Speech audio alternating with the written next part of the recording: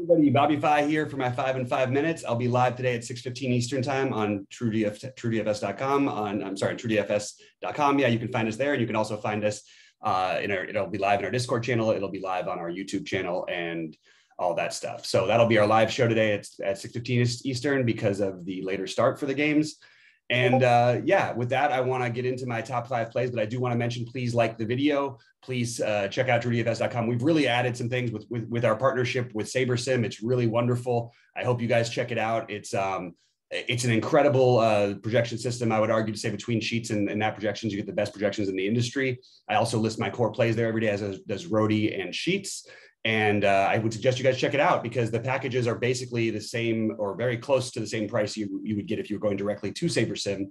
And uh, you're getting all of our content as well. So I think that's a, a really, really nice package. Anyway, let's get into today's slate. I'm going to go through it really quick. Um, it's it's an interesting slate. We're already hearing more and more news, so take this with a grain of salt because more stuff might happen as the day goes on. But this is what I've got for right now. Um, it's only a five gamer, but there are some some different ways to go. Like I think Holiday is a tremendous play. Um, obviously, he's going to be incredibly chalky, but without Giannis and Middleton, it's hard to ignore him. I do like Portis. I should have had him as a priority on FanDuel. So just ignore the fact that Portis is not a priority right now. In fact, just to make it easier for you, I will say Portis right here as well. I know it's a different position, and I usually like the players in the same tier like that. But Bobby Portis on FanDuel at 5K is a joke, and it means no one's going to play him on DraftKings. So I will like him as a tournament play over there.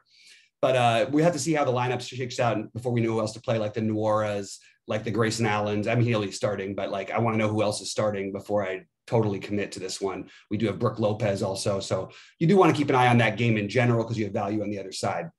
Uh, LaVine and Vooch with no uh, with no DeRozan is a pretty automatic.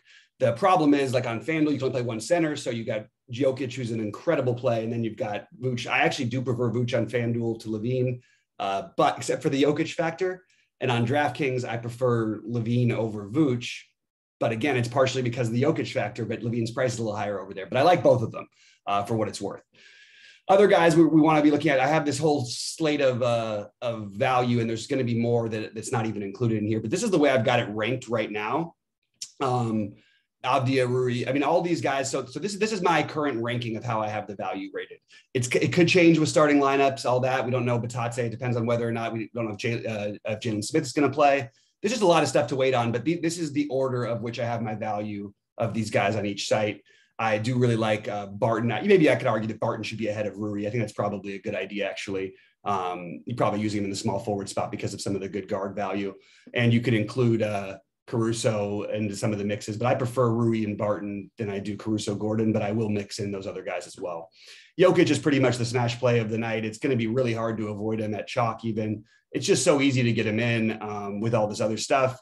The only issue is like maybe you want to do something different, and that's going to lead me into my next tier. It's all these other guys. You can play these guys together with the obvious Holiday play, or two of these guys with the obvious Holiday play, maybe even three, um, or Vooch um, or LaVine with two of these guys in Holiday, or even if you want to skip Holiday, this would be the way to do it, I think, and then load up on some of the value from uh, from uh, excuse me Milwaukee. And on FanDuel, I just have it a little bit different in terms of rankings because McCollum is only 8K over there. Porzingis is a better player in general on FanDuel because you get the upside of steals and blocks. And then I go Booker and Garland, whose prices don't really change, whereas you're getting a little bit better value for the other guys. So this is what I've got for right now. I hope you guys really enjoy these videos. Please, again, like, and uh, check out our Discord if you need anything. I'm always around. And uh, yeah, it's been a great couple months for TrueDFS as a team, as uh, everybody's been doing. You know, for the most part, people have been doing really, really well. Uh, our team has definitely the, the, the pro team has done really, really well. But we want you guys to be a part of it. We want uh, to get more people involved, and uh, we love the the activity in the Discord. So make sure to to, to get on in there and fire out your thoughts for the day, ask some questions, and let's make it some fun. So good luck to everybody, and let's make some money today. Good luck, y'all.